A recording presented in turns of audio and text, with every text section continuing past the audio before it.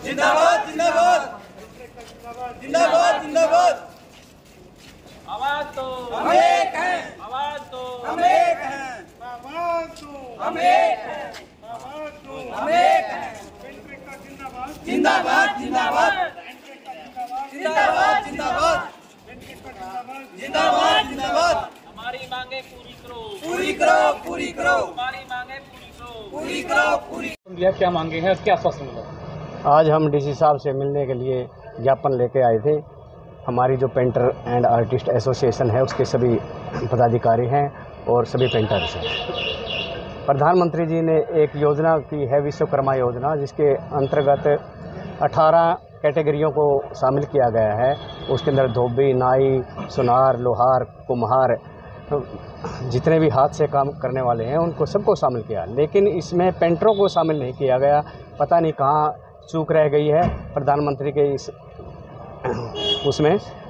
तो पेंटर एक ऐसी कड़ी है जो हर काम के अंदर, जहाँ भी कोई मुहूर्त हो, स्थापना हो, कुछ भी कार्य काम हो, उसको इंटेरोगेशन करने के लिए उसको पेंटर की ही ज़रूरत पड़ती है सबसे पहले उसको बताने के लिए।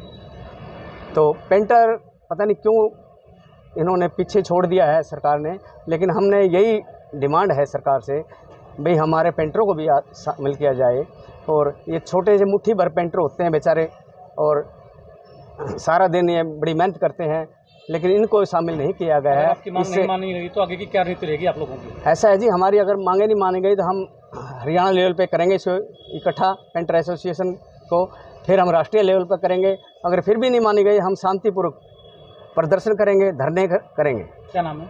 महावीर पेंटर जिन चलो साहब ने आश्वासन दिया? ऐसा प्रधानमंत्री जी ने एक योजना बनाई है विश्वकर्मा योजना।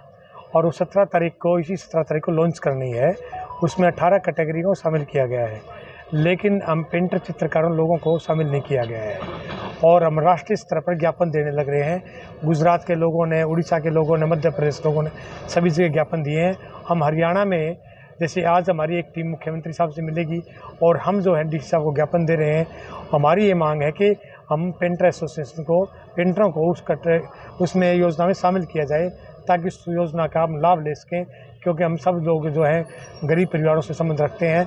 उस योजना का लाभ लेके कुछ थोड़ा बहुत है हमें राहत मिल सकती है। ये हमारी मांग है। आगे की क्या नीति रहेगी? मांगे पूरी ना होगी तो? है, हमारी रणनीति ये है कि जैसे राष्ट्रीय स्तर पे अलग अलग ज्ञापन जा रहे हैं तो राष्ट्रीय स्तर पे एक एक मीटिंग हम बुलाएँगे दिल्ली में और दिल्ली की राजधानी में तय करेंगे अगले आंदोलन की क्या हमारी रणनीति होगी। नाम और डेजिग्नेशन आपका? मैं रामफल दैया सुरक्षक हूँ जींद जिला का। हाँ जी आज हम सभी पेंटर साथी इकट्ठा हुए हैं डीसी साहब को विज्ञापन देने के लिए। इसमें लिखा हुआ है कि प्रधानमंत्री नरेंद्र मोदी द्वारा जो एक योजना चलाई है, वो योजना है विश्वकर्मा योजना। उसके अंदर पेंटर साथी जो है, पेंटर आर्टिस्टों को छोड़ दिया गया है और 18 उन्होंने योजना के अंदर नाम डाले हैं, जिसमें धोबी हैं, सुनार हैं, लोहार है, कुम्हार हैं और झाड़ू बनाने वाले हैं नाव बनाने वाले हैं लेकिन हाथ के काम करने वाले उसमें पेंटर भी आते हैं लेकिन पेंटरों को शामिल नहीं किया गया। और हम भी चाहते हैं कि भी हम सभी पेंटर आर्टिस्टों को भी उस योजना में शामिल किया जाए। डीसी साहब को ज्ञापन दिया क्या आश्वासन दिया डी सी साहब ने ज्ञापन हमारे से ले लिया है उन्होंने यह ही हमारे को आश्वासन दिया है कि भाई हम मुख्यमंत्री तक भी हमारा विज्ञापन पहुंचाएँगे और प्रधानमंत्री तक भी पहुंचाएँगे अगर मांगे नहीं पूरी हुई तो आगे की क्या नीति रहेगी अगर हमारी मांगें नहीं पूरी होती हैं तो हम पेंटर जो हैं सभी जगह कार्य करते हैं सरकारी भी करते हैं प्राइवेट भी करते हैं लेकिन वो हम भी अपना एक धरना सुनिश्चित करेंगे। और पहले डिस्ट्रिक्ट लेवल पे फिर हरियाणा लेवल पे फिर भी नहीं अगर हमारी मांगें पूरी होती हैं तो हम इंडिया लेवल पे भी हम अपना ये जो है धरना चलता रहेगा। मेरा नाम राजेश कुमार कश्यप जींद